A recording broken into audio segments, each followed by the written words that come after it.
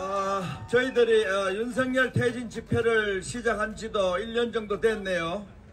어, 역시 진실은 좀 커지기 때문에 그러한 어, 이 좌파 우파 쪽의 오해에도 불구하고 많은 사람들이 손가락질을 받아가면서도 집회는 오늘처럼 커졌네요. 여기에서 촛불 진영에서 나온 사람들 어, 거구 거구들하고 최대집 변희재 저랑 거구하고 같이 간다고 욕도 많이 얻어먹었지요. 우리도 욕 많이 얻어먹습니다. 냉전 시대에 좌파 우파 구별에 갇힌 사람들한테는 우리는 욕을 얻어먹으면서까지도 진실투쟁을 하고 있다 이 생각을 하고 있습니다.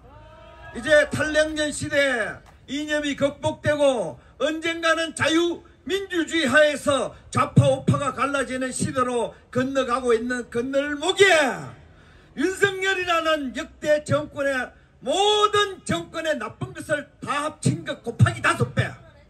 이거 제가 쓰는 용법이 아닙니다. 트럼프 대통령이 바이든을 욕할 때 미국 대통령 4명 다 죄를 악을 합친 것 곱하기 다섯 배라는 용어를 씁니다. 윤석열은 그런 사람입니다. 좌익의 나쁜 점, 우익의 나쁜 점, 좌익 사쿠라, 우익 사쿠라, 사쿠라들이 다 모여 있어요 거기에. 좌파든 우파든 진실한 사람들이 모여가지고 좌파 대통령은 우파 대통령이든 윤석열처럼 입맛 뜨면 거짓말하고 원희룡처럼 입맛 뜨면 거짓말하고 김건희처럼 입맛 뜨면 거짓말하는 것들을 한국 정치판에서 몰아내야 되는 게 아니에요.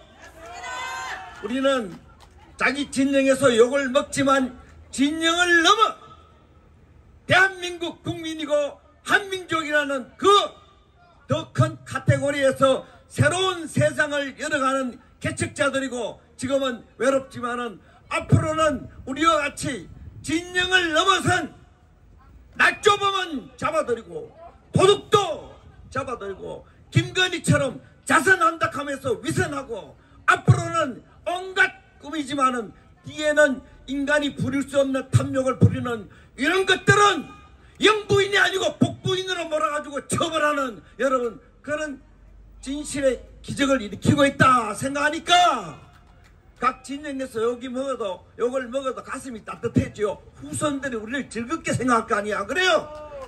위대한 역사를 좌파 우파 진실 정의 자비로서 윤석열 한동훈 몰아내고 진실과 정의 법치와 애국의 혁명을 만들어 갑시다 여러분 타워팰리스 부자들이 이런 운동해야 되는데 징징대더라고. 돈 있는 사람 권력 있는 사람들이 이런 운동해야 되는 거 아니에요? 나라가 혁명의 상황이 다가오고 있습니다. 혁명을 어차피 해야 되면 우리가 합시다. 타워팰리스 사람들이 못하면 우리가 해야 되는 거 아니에요?